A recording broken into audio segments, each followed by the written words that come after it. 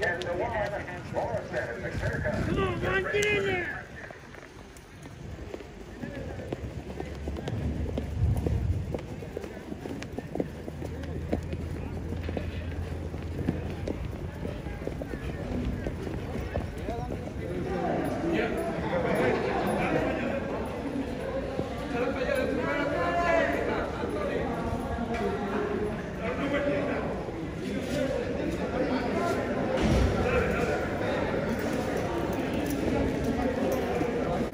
Congratulations, Anthony. Oh, you you. had a great day yesterday too. How does that feel? Do you have like excited feeling today? Yeah, I'm excited, excited. We have a win three yesterday and win one, you know.